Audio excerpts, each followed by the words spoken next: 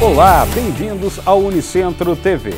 Pesquisas sobre produtividade nas culturas do milho, soja e feijão foram apresentadas no quarto encontro de resultados, promovido pela Unicentro, Grupo Agras e o Sindicato Rural de Guarapuava. O evento é destinado aos acadêmicos e professores de agronomia, aos alunos do Colégio Agrícola Arlindo Ribeiro e principalmente aos produtores da região, uma vez que a maioria das pesquisas foi realizada nas propriedades rurais.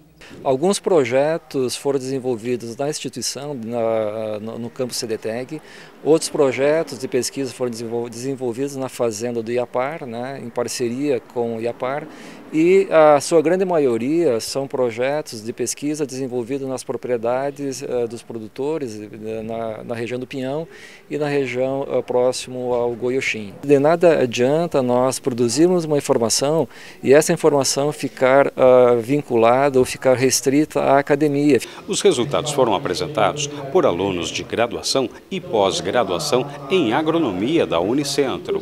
As pesquisas geraram inovações tecnológicas que beneficiam os produtores rurais. Destacaria a questão do uso de fungicida na cultura do milho, que é uma tecnologia relativamente recente, bactérias fixadoras de nitrogênio em cereais, que é uma, uh, são estudos recentes uh, aqui no Brasil, o uso de nitrogênio foliar, ou seja, aplicação de N foliar em todas as culturas, soja, milho ou feijão, e principalmente em anos de estresse hídrico, uh, parece que a resposta ao uso de nitrogênio complementar é, tem se tornado mais uh, forte ou com maior uh, índice de respostas positivas. Então, realmente, essa adoção da, da, da, tecnologia, ou seja, essa nova possibilidade de complementação de nitrogênio uh, nas culturas, de modo geral, favorecido bastante no incremento de produtividade.